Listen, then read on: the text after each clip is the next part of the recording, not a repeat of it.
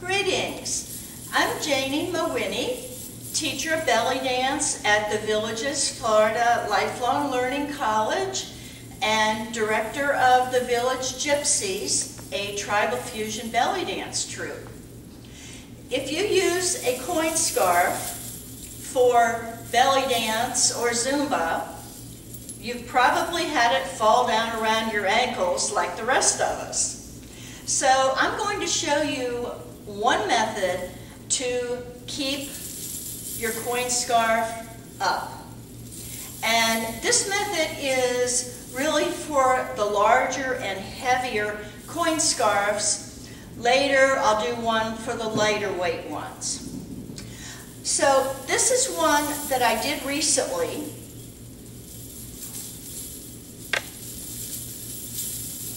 And Possibly you can see in here that there's a casing and inside the casing is elastic and there's a snap at the end of the elastic. That's the only place that the elastic is tied to the scarf because it has to be able to move. At the other end, we have casing to cover the elastic, a tail, so you don't lose the elastic, and another snap. And that's all there is to it.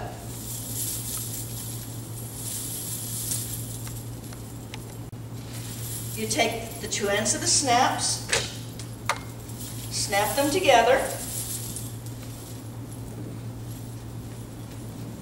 adjust the end of the casing so it covers the elastic, and you see, it's held on just by the elastic. Then you tie the ties in a decorative manner. It covers the casing pretty much, and you're done. So I'm going to show you how to do this. We will do it with this because it's light colored.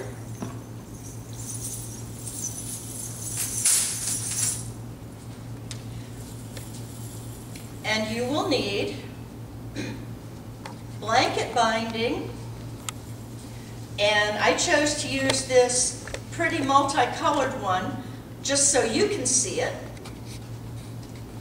You can buy this at a fabric store or online, and it's satin blanket binding and we'll talk more later.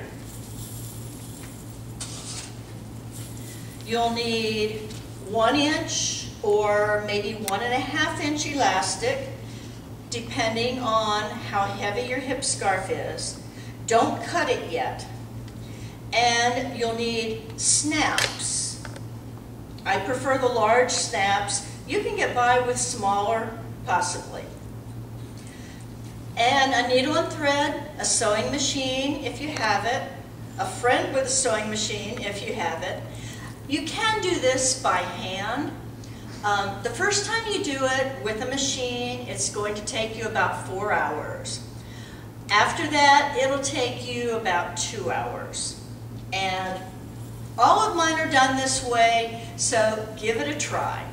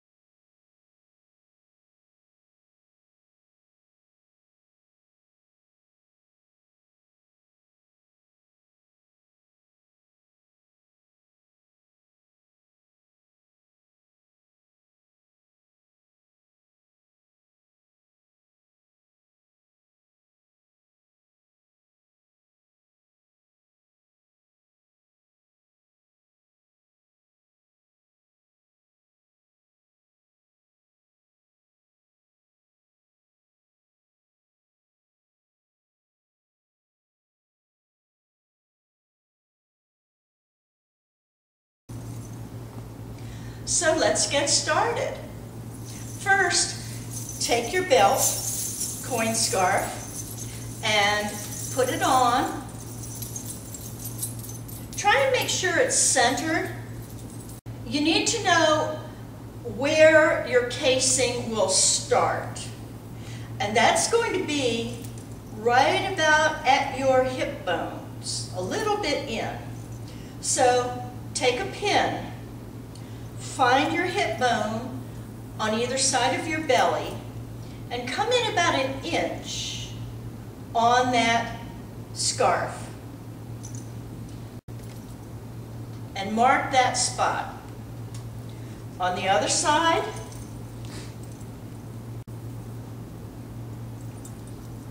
and mark that spot.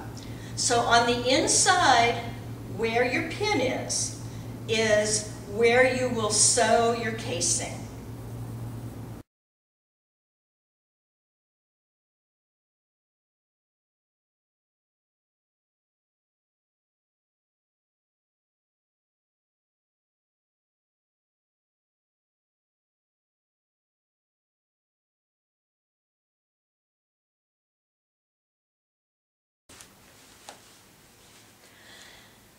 in step one, we put a pin in the coin scarf where our front hip bones are plus about an inch. So you notice it's about an inch outside the embroidery here. We need to move the pin to the inside because we'll be sewing on the inside. So I take the pin off move it to the inside, same location. This is pretty approximate, so don't worry about it a whole lot. It's now on the inside, and we'll do the same to the other end. And those pins are the end points for where we're going to sew the casing for the elastic.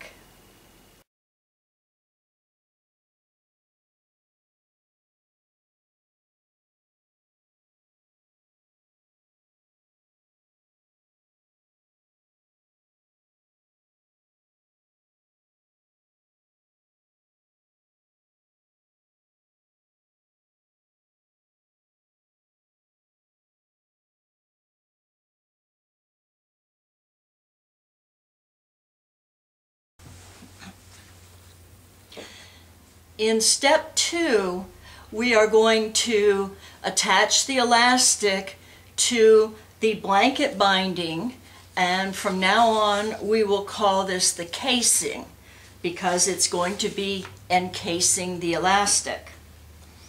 First, you should have a single fold in your blanket binding. We're going to use the, the blanket binding fold it over, and we're going to take the end of the elastic, turn the binding over by about half an inch, center the elastic in the middle of one of the halves, and fold it over and you want to keep that elastic in the center. So now you can pin it if you want. I'm just going to sew it down.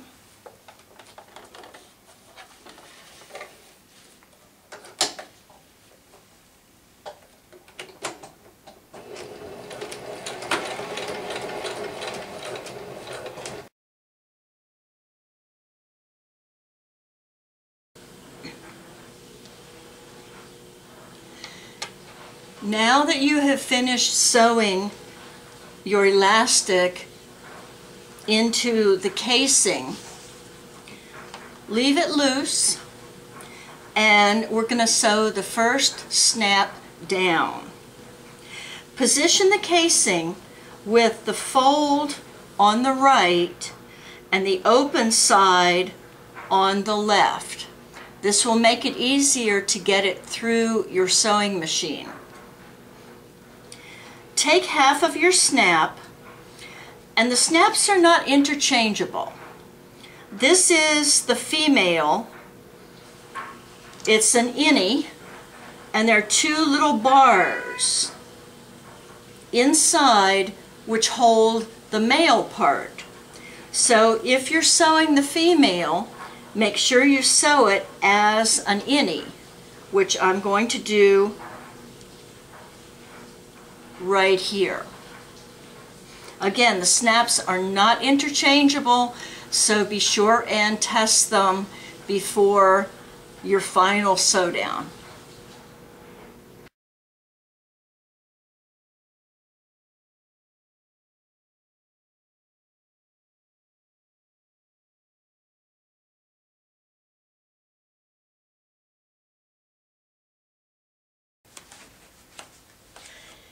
In step three, we are going to sew the casing on the inside of the coin scarf.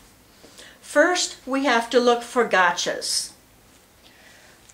A gotcha is a coin or a bead that's along the line that we're going to be sewing. We're looking at the outside of the scarf because that's where the gotchas are. So to see if it's a problem, lay your casing out. And this is where we'll be sewing it on the inside. So there's a line of beads along the top, which won't be a problem because we'll be sewing along that edge. On the bottom of the casing, there's nothing. It's clear. So this particular project doesn't have any gotchas. So let's now go to the inside of the coin scarf.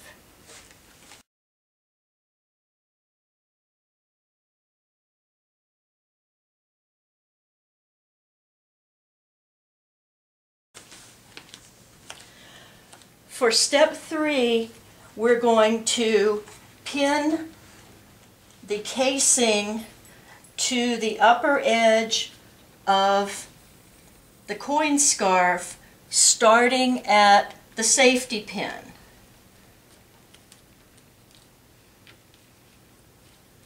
And this is going to be the line of stitching for the top edge of the casing. Now leave the elastic loose. Don't be tempted to cut the elastic and don't cut the excess of the casing yet.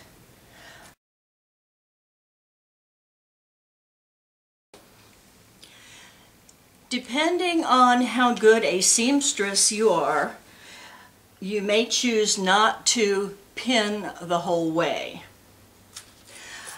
Next we remove the hip bone pin. We don't need it any longer and we're going to start sewing from the end of the casing. Taking the pins out as you go, of course. You notice I'm keeping the elastic away from the needle right now.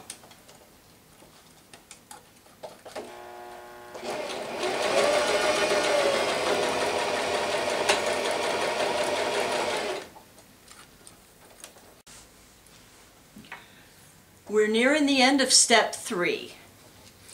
We've come to the second hip bone pin that indicates the end of stitching of the casing. Do not cut the casing.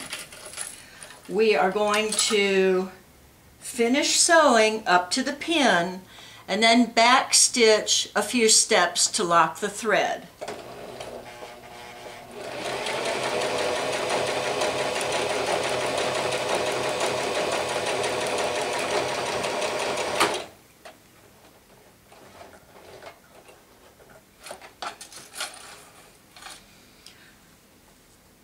So that's the end of stitching the top row of the casing. Now I'm going to remove the other hip bone pin and we'll move on.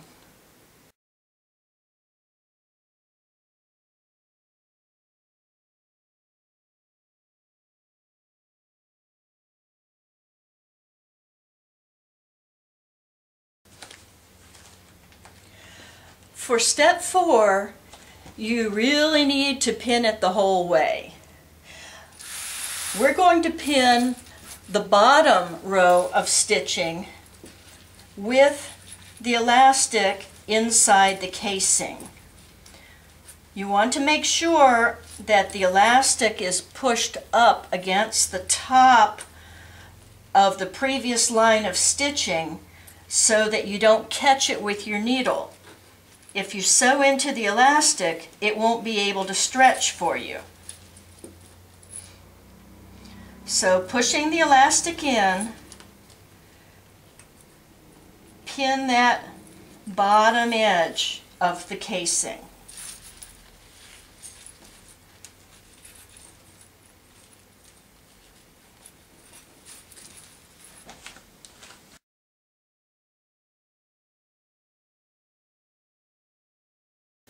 The casing now is entirely pinned along the bottom stitching line and you'll notice you don't see the elastic anymore because it is inside the casing. Before we sew it down, we need to check and see what the front looks like.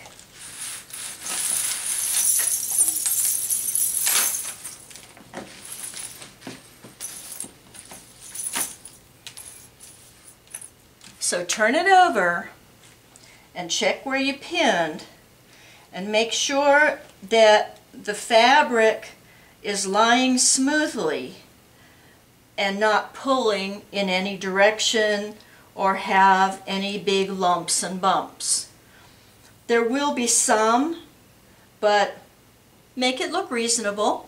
And now we're going to sew it down.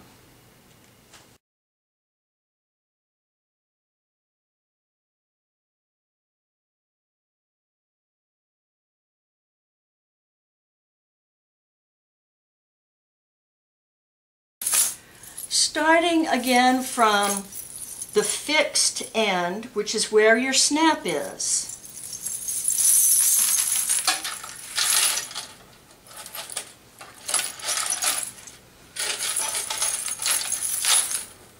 And being careful that the coins don't get caught up either in your stitching or on your sewing machine.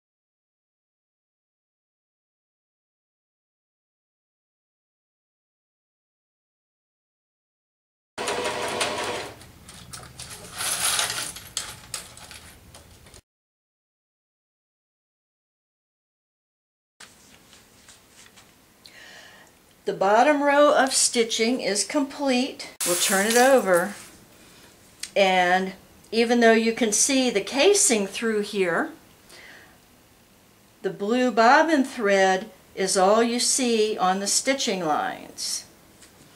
So if this were not a demonstration, I would have used a blue blanket binding for the casing.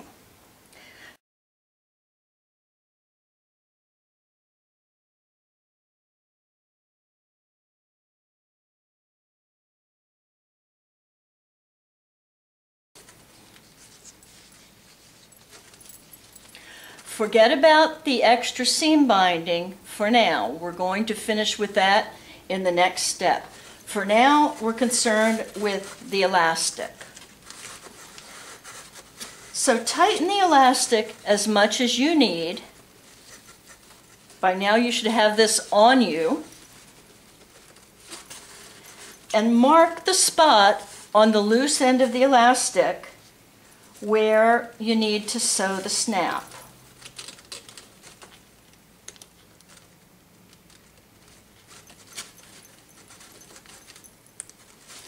So that's where the other half of the snap is going to go. Make it comfortably tight, not too tight to weaken the elastic, but not so loose that your scarf is going to fall down when you shimmy.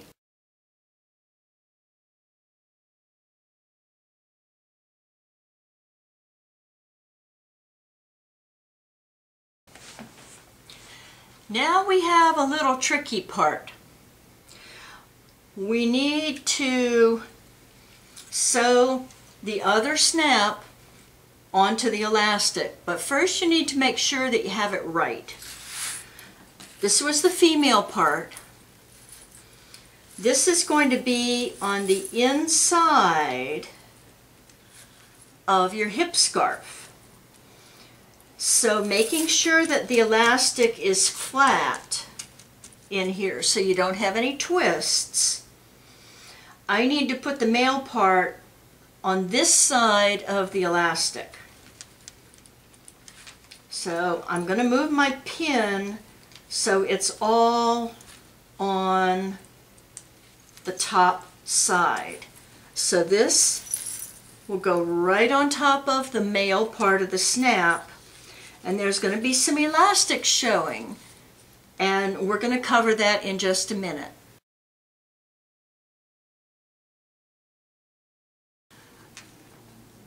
The male part of the snap is now sewn on. We're going to test it with the female half. It snaps nice and tight and that's what's going to hold your hip belt on.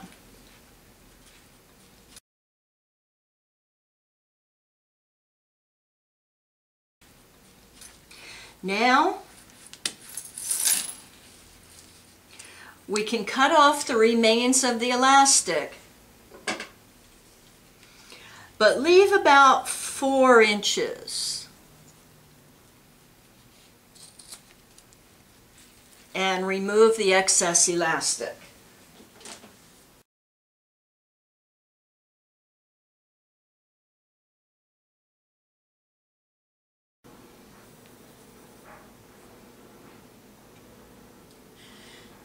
Now that we have the snaps placed on the elastic, put the coin scarf around your hips and snap the ends of the elastic together.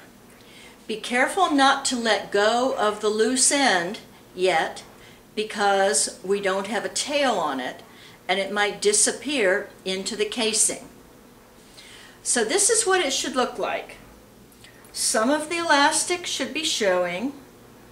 You've got your blanket binding that's showing outside of your coin scarf because it attaches underneath. And what we're going to do now is extend the casing enough so that while you're dancing, it will not pull back and show the elastic. So from the location of the snap, which is right about here, extend your casing about another four inches and mark that spot on the casing because that's where you're going to finally cut it.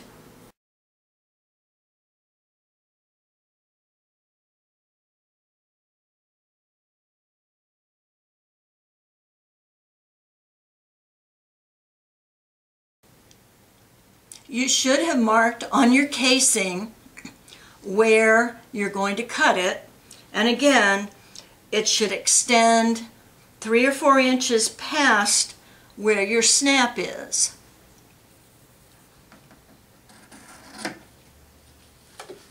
Don't throw away your casing.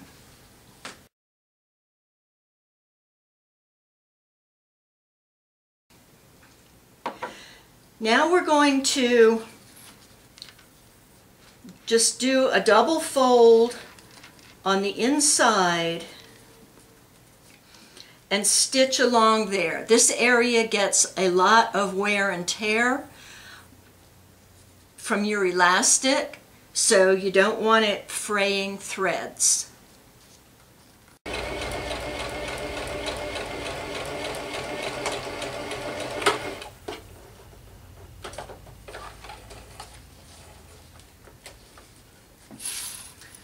So you finished your rough edge.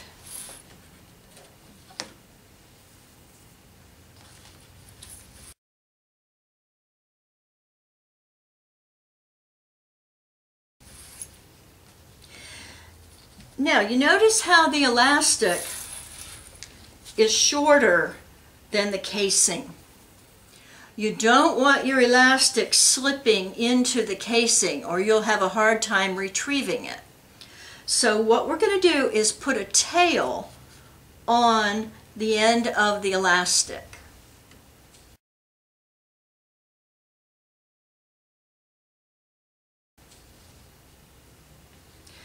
So take your leftover blanket binding and cut a piece eight or nine inches.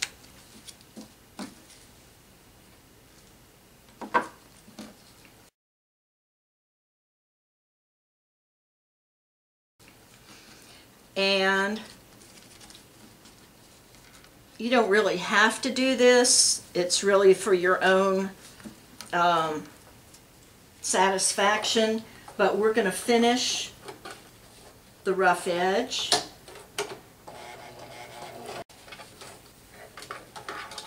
and the other raw edge.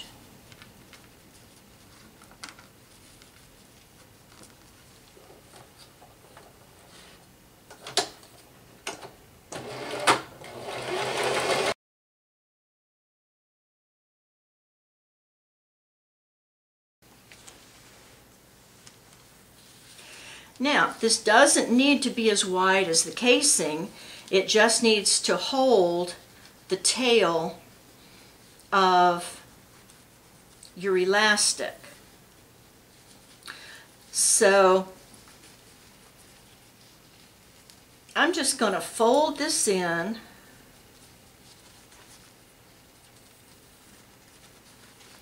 and fold this in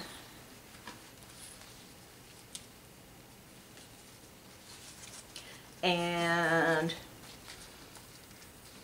what's necessary is that you catch the elastic in here.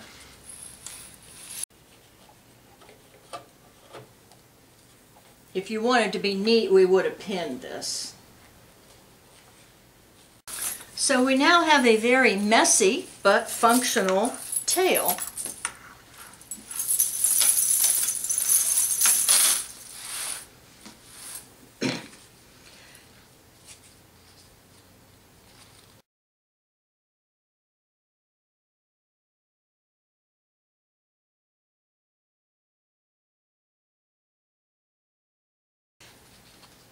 Now that we will not lose the elastic into the casing, we can finish the bottom edge of our casing.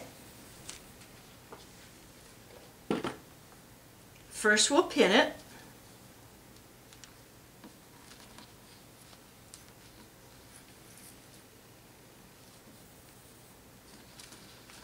And again, you need to be sure that you don't stitch into the elastic or the tail.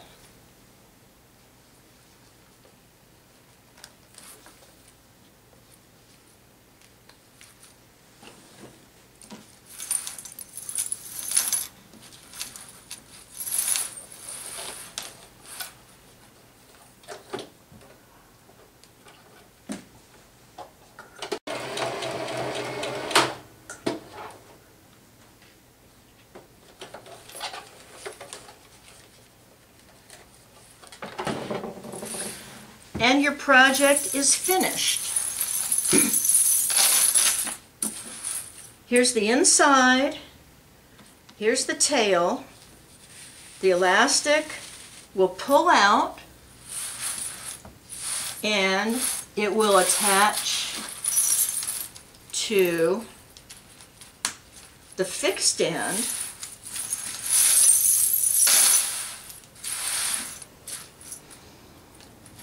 If this were the same color as your belt, it wouldn't be so spectacular. And all you need to do is tie your ties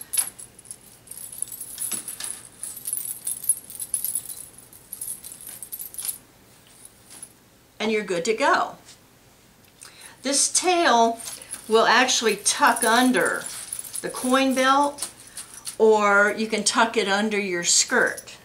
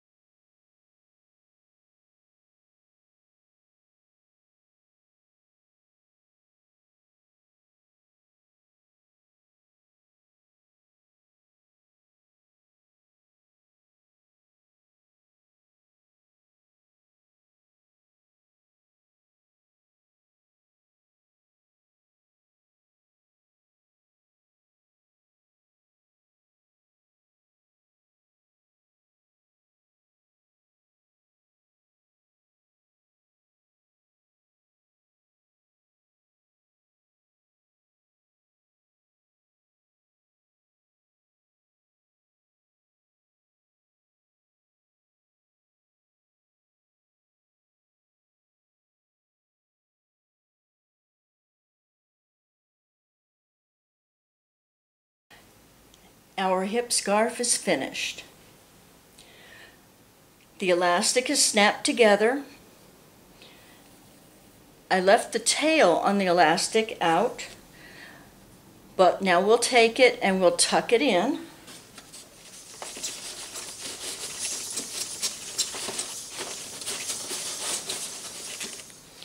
So it will not show. You can see how the end of the casing is pleated. Now, it looks like there's a little too much here. I would suggest that you dance with it a few times first and see how much it pulls apart as the elastic works while you're dancing. You may want to reduce the size of that casing. Think twice, cut once. All that's left now is to tie the ends of the scarf. Put a bow on there if you like. And you can still see some of the casing. Sometimes I take one of the tails of the scarf